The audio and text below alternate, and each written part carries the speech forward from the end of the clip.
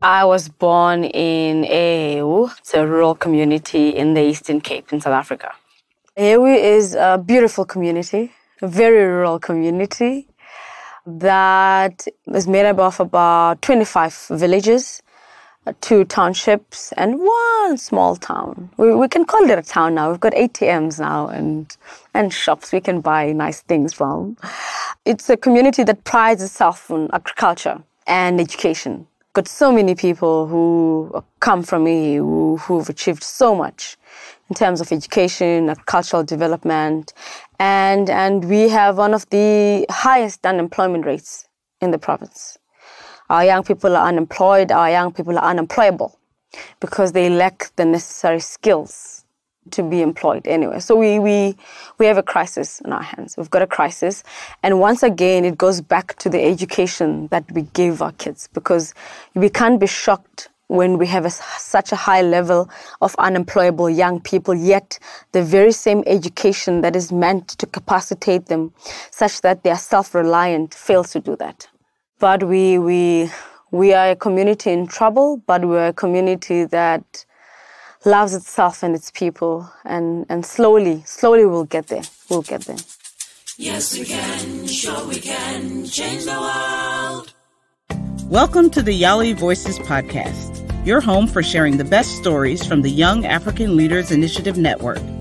Be sure to subscribe to the Yali Voices podcast and visit yali.state.gov to stay up to date on all things Yali. Today's Yali Voices podcast is with Nangamso Koza the 2015 Mandela Washington Fellow hails from Hewu in South Africa's Eastern Cape. The daughter and granddaughter of educators, she came to respect the power of education and its ability to transform people and communities. In this podcast, she talks about her rising awareness of the imbalance in South Africa's education system and how that inspired her to create the Inqubela Foundation. She shares how her work is based on the principles of leadership, literacy, responsibility, and mentorship, and how being an active and engaged Yali Network member enables the partnerships that can change lives.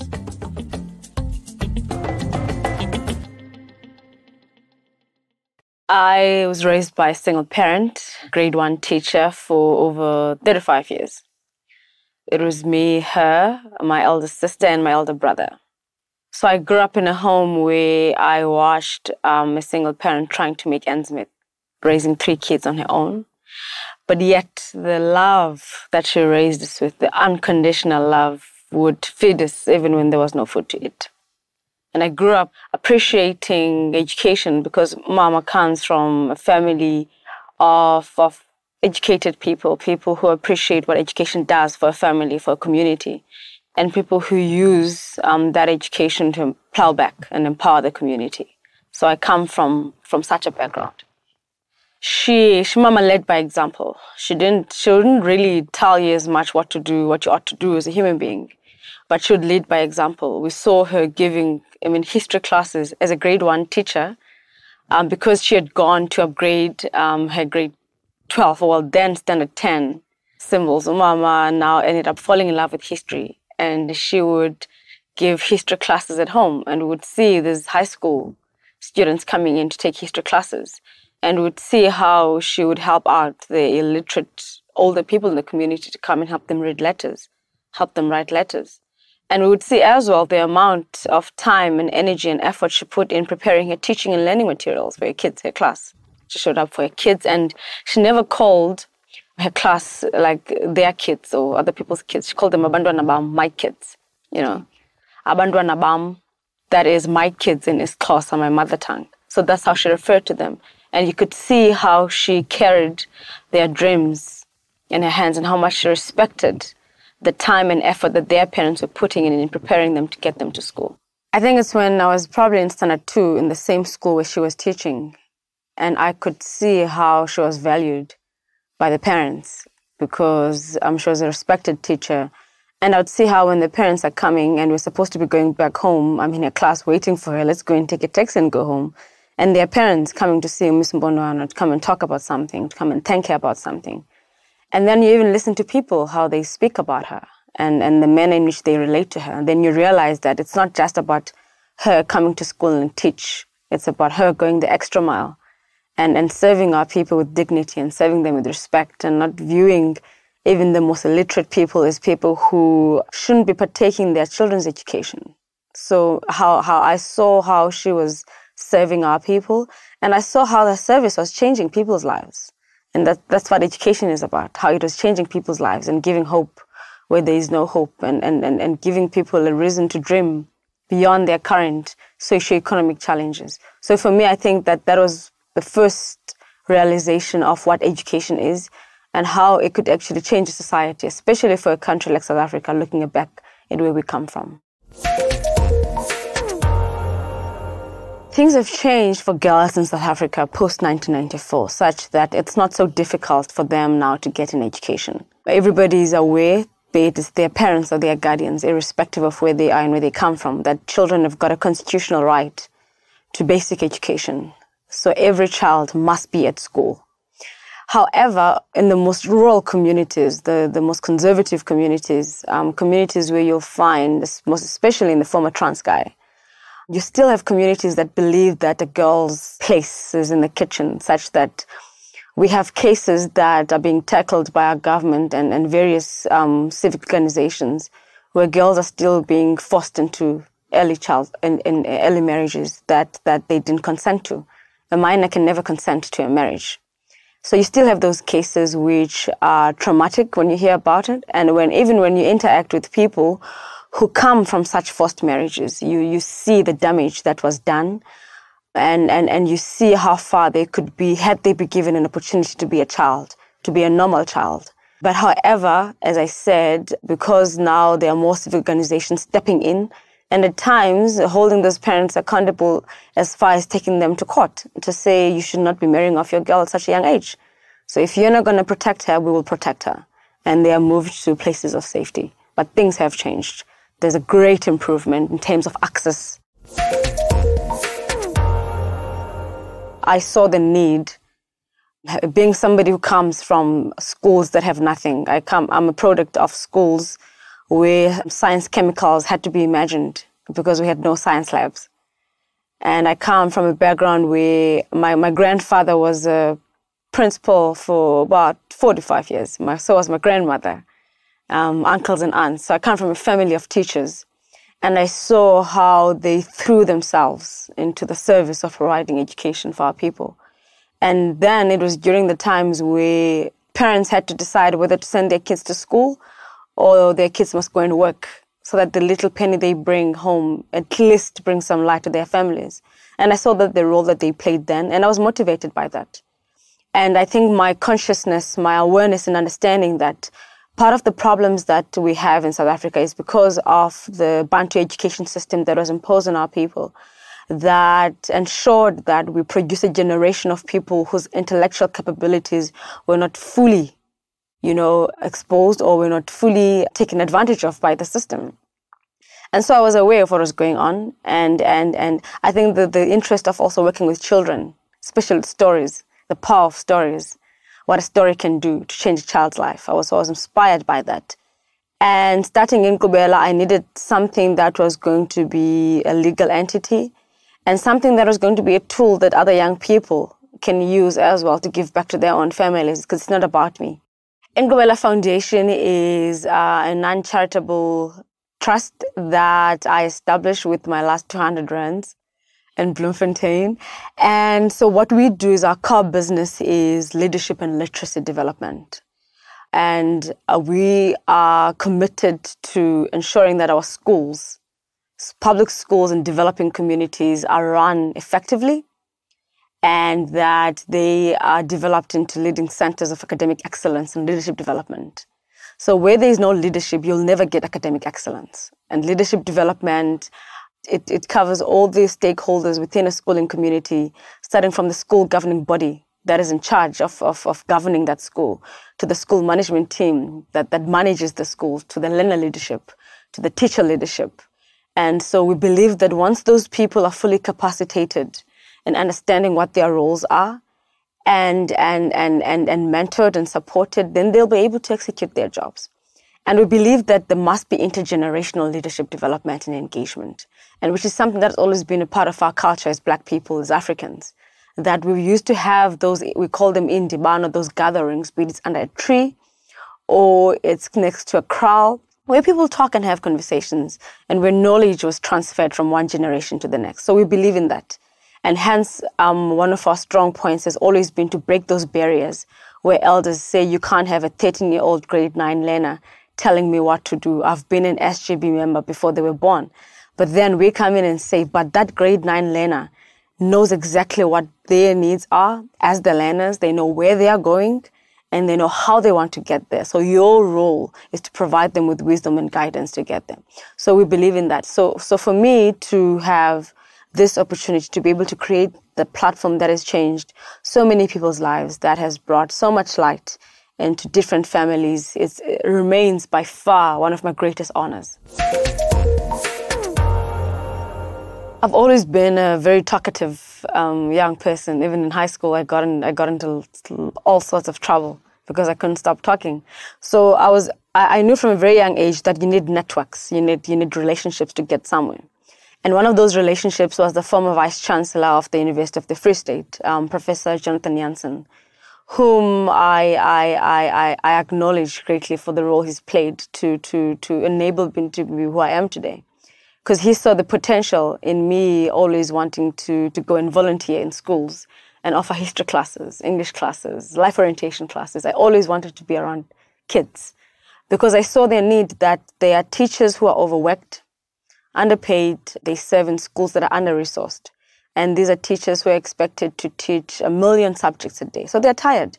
So what they will do is they will teach what they're supposed to do and then they move on to the next class. So that's when we, I came in with a couple of friends back in Bloemfontein and we would go and visit these schools. One school in particular, Tsoseletso High School, remains one of my favorite schools ever. And we would have this tutorial. So that's where it started. The tutorials then, and then I thought maybe we, we could formalize this so that we can be able to attract funders, attract donors, um, because they need a legal entity for them to be able to, to provide any form of funding. So that's where it started. At the Inqubela Foundation, we believe in engagement. Engage, engage, engage. Because when you engage, you avoid imposing solutions that you would think would work for a particular community. So we engage a lot. You find out how that school operates, the community that it operates in is the traditional leadership, is this the political leadership, who governs the school, who manages the school. And you even go and find out how the school was established, because you'd find out that the school was built by parents. It's their pride and joy. So you need to understand first. We believe in engaging. And then when we engage in this, the, the, the, the tools that we use are identity. Identity is important. African identity, uh, African heritage, African history. Because when we know who we are and we know where we come from, it's easier for us to determine where we're going. And most of part of the problem of having young people, most especially who are assimilated into being who they think they should be, it's because we never embrace who we ought to be. For instance, if you talk about a leadership development program, and then you would quote, of which you must, the incredible work that's being done by people who are not from Africa. But when you mention King Omurena Moshoeshoe of the Basotho, people who don't even know, but when you speak about wisdom, that is the one, one great leader. You cannot even not miss Morena Moshoeshoe. Because you speak of wisdom and you learn about his story, his, what he did for his people. That's where you start. So we believe in that a lot. In making sure that the African kids that we are engaging work out of our engagements knowing more about who they are, their communities, our continent, and most importantly, that there's an agency that's been activated within them that this is our country, this is our land, this is our continent, and nobody's going to fix it but us. And you start within yourself. You go to your family, you go to your classroom, you go to your school, and that's where it's going to lead us somewhere. An example of a particular program that Inqubela Foundation has implemented is Insika Yesizwe Fellowship. What Insika Yesizwe Fellowship does is it offers high school students one of a kind leadership development program. It's a two year intense um, thought leadership program where we offer them, for instance, subjects like community engagement and civic leadership, international relations, African history, African philosophy, and economic development. And those are subjects that you will never find anywhere in a, in a high school program in our country. But we offer them that. And I remember when people, even teachers at times, were saying, this is a bit too much for the learners. They're young, they're 13, they're 14. And we insisted and we said, if we as, as the Agenda 2063 by the African Union says that, you know, you have to prepare them at such a young age. But if we want these kids to lead our continent in 2063 and beyond, we have to engage them now so that they know that when, when, when the conversation about land in South Africa is coming up, that people, people saying they want the land back, what does that mean? Where does the land, who owns the land? What are the people are going to do with the land? Why was the land taken away from them? So already the land question covers African history, African philosophy, community development, economic development. So that was the aim that you want to have young people growing up understanding what is really going on. And if somebody says that I want to have an internship at the World Bank, what is the World Bank? How was it established? You have to know that as young as 15. And as a South African growing up in a rural community, when South Africa's got links with the World Bank, with the IMF, what does that mean for you as a 15 year old? So that was about it. And, and we started with 30 young people. And we're proud to say at least 20 of them are at university now. And, and we've gone from having conversations with 13 and 14 year olds to having conversations with people who, who, are, who are already serving their communities. Because even with all of them actually, when they got to varsity, they didn't sit down. They started tutorials. They started joining community engagement programs. So that agency that was activated at a young age, ages, 13 and 14, and they highlight that as by far um, one of the, the, the, the, the, key life-changing moments in their lives that enabled them to, to, to channel um, their direction. So we're very proud of that. And we wish um, we could have, you know, resources, be it in form of human capital, that we could we could reach out to more communities. For Nangamso, accountability is key to the success of the work she and her team are doing through the foundation. Accountability from elected officials, parents, teachers, and students. If your child is not learning, why? If school books are not available, why? Just as important is preparing students for life at university and beyond. To that end, the Foundation recruits successful young professionals from the same schools and communities to serve as mentors. She explains further what it takes to pull this together. It's not so difficult these days to, to put up a structure like this because of the various multimedia communication channels that we have. So, for instance, for us, we tap into the, the young professionals who cannot physically be at home, yet they are willing to divide their time and, and, and, and put resources in place in terms of buying data and airtime to contact the young people. So we, we communicate what we have and then people can choose how to get involved. So others choose to step in as mentors to the young people in high schools. Others choose in to offer a particular lesson on something. If somebody's a lawyer, then they could say that, listen, um, can I offer an you know, legal session. Just just going to dwell into what the legal fraternity is and how young people can get into it, what courses can they study, what can they do with those degrees. So we've got young people that offer a variety of information and resources in that form. And and and they don't even expect to get paid a cent. Well, well, we'll never be able to afford them. But so that's our pool. And that's where we really do not spend any cent on. They come in and they donate their time, they donate their refreshments, they donate everything. And so that for us is something.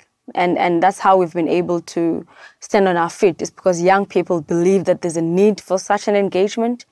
And most importantly, I think how we, we, we open up as well to them. They feel like they own it. They feel like it's their home as well. They could just come in, grab a key, and they could just go and do what the community needs. We, we work with the government, with the Department of Education, and we go through them and who have been very open any single day. They've been very open. And because we feel that's the best way to engage the schools, that it's done formally, the government understands that we're coming in as a partner and and then we're able now to touch into the various stakeholders that the school has but the bigger dream of course is to be able to have operating centers within communities where children, even after school, there's after school programs, there's weekend programs, there's summer programs, there's winter programs.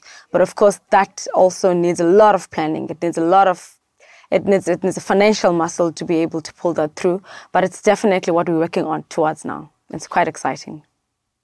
Funny enough, it took the Mandela Washington Fellowship to be taken seriously, even though they knew, especially in the Queenstown district, even though they knew because they were they were being they were receiving feedback from the schools that we had identified and started working with.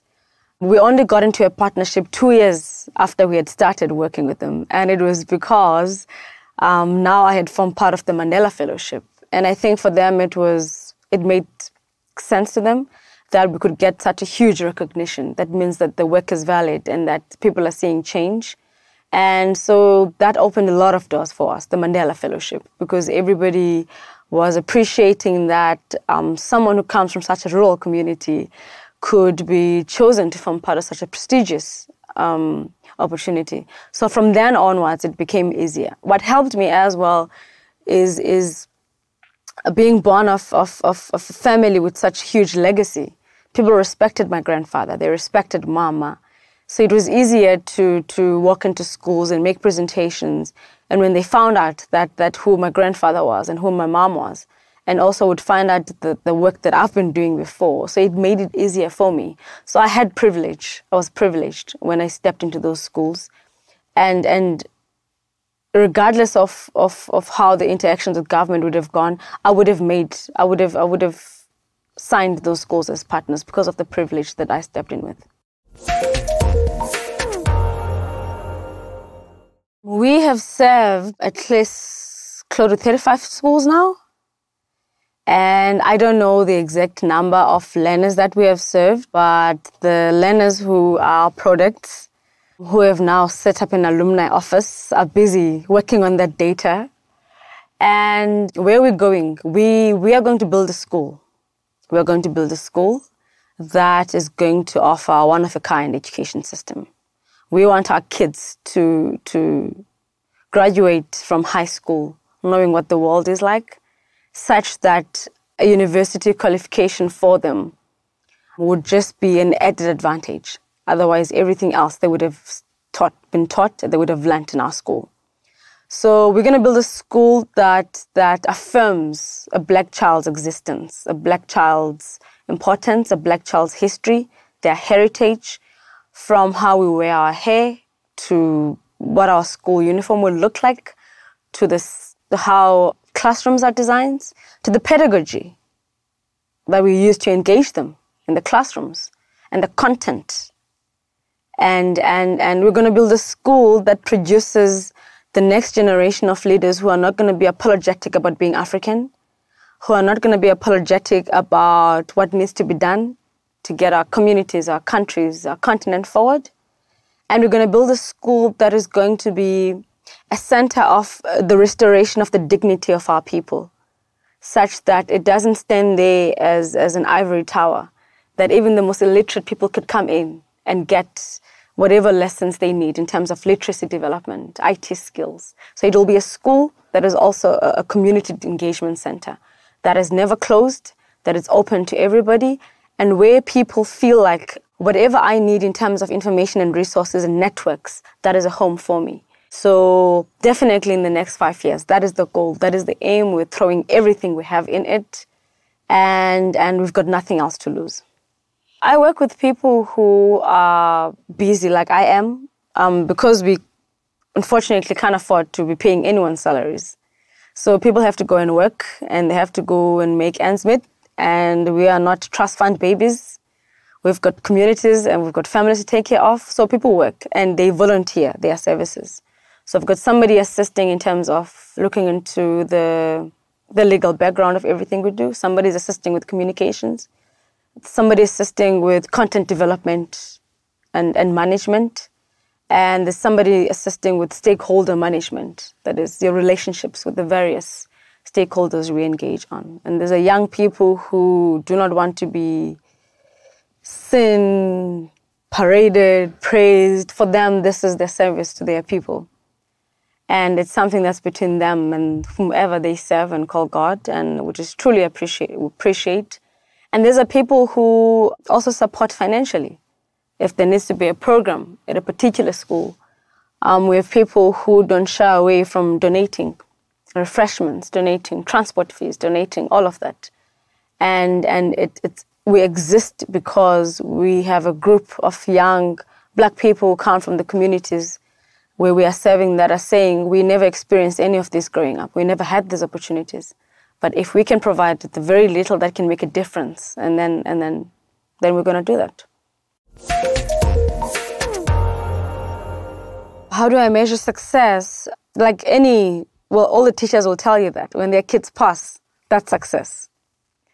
I think for me, it's, it's looking at, at, at where they come from, the kids, that is, and, and looking and, and watching them grow into young, passionate, conscious people. And, and, and you see how their lives are changing. And, and, and you see how their families' lives are changing. So that for me, that for me is always enough. But most also seeing how the schools are adapting to change. And, and, and you're seeing how a system that was dysfunctional and not effective turns around now to being a conducive environment for quality teaching and learning. That's also a huge measure of the work we're doing. And also seeing how even the people that serve as mentors, how their lives are impacted by all of this. Because somebody would say, um, I joined in just to be a mentor because I want to do something, anything. But now this interaction with these young people is changing my life. It's changing my life direction. So that's been a huge measure. But also as well, it's, it's looking into how the slowly but surely the, the, the network of stakeholders that we engage with and, and the quality of the work, how people receive the quality of the work that we are, we are producing. So that, that's always a measure of, of, of our services. And I know a lot of people wish, pray, do all sorts of things to, to, to, to be in that position. So I'm very grateful. I feel very honored. Hence, I, I throw myself into it because I know that to, to, to have this opportunity to do what, what, what, what, what's in my heart and to, get paid for it, that's amazing. And I hope that through Inqubela Foundation as well, uh, I will be able to, to, to have people that say that same thing as well that I wouldn't want to do anything but this. And Inqubela is, is giving me that opportunity to do that. And, and slowly but surely we'll get there. As we come to the end of our podcast, Nangamso shares her thoughts on participating in Yali Serves, being a part of the Yali Network, and what the Yali Network online courses have meant to her own personal development and success. Yali Serves is by far one of, of the most important networks that I've found myself in because you have a group of people who want to do change, who want to do good, who want to impact communities. But at times, they don't have the strength nor the knowledge of how to organize themselves to get to those communities. And then comes in Yali Serves, where it says, we will help you connect each other. We will help you connect to, to get to those communities you want to serve. We'll help you connect with the people with whom you can serve with. And then that's how you get people to change people's lives. And whilst they are serving and providing whatever services, um, volunteering, their skills, their knowledge, their time, but they're also changing their lives as well. Because any volunteer will tell you, the minute you come back, you're never the same. Each and every time when you come back from serving in any community, your life has been impacted. So it's, it's, it's, it's, a, it's one of those initiatives that must be supported and we must get a lot of people involved. People need to know it exists and people to need to know that you can tap in as a support system, that you don't have to be doing all these things alone. There are a lot of people who want to help, who want to serve, and all they need is information of how to get there. My advice to the Yali network is to partner, partnerships. We can't do it alone. Somewhere, somehow, amongst the thousands of us on these networks, is thinking about the same thing, for either the same community or community similar to the one you wish to serve and share ideas, partner, share ideas, share resources. As, as, as Africans, we believe it takes a village to raise a child. So you can't do it alone. But you've got over, you've got thousands of people thousands of people with skills, with knowledge, networks that you can tap to and to be able to serve your community and your people. I've used the Yali Network online courses and I've done at least about three, if I remember correctly, on civic, civic engagement, civic leadership. And I quite enjoyed them. I found them practical. I found them to be practical because when you when you start an organization like I did, at times you miss out on the small little pieces that you need to master first, so that you can get all the systems functioning properly. And what I've picked up um, from from those courses that I did was was the necessary information and the necessary to do list that one must master first before you can get your organization to function properly. So it's been greatly helpful. There's great value. There's great value in being a member of the Yali network because you form part of the most selfless, dedicated, knowledgeable, smart, and very ambitious young people I've ever encountered in my life. And there's great value because just the name itself, the prestige, opens so many doors for you. But then, then comes in the responsibility of protecting that integrity and ensuring that you're doing what's supposed to be done and and no way i've never been part of a, of a network where there's so many skills and, and, and, and so many people with, with so many contacts to do anything, anywhere, anytime. It's magic.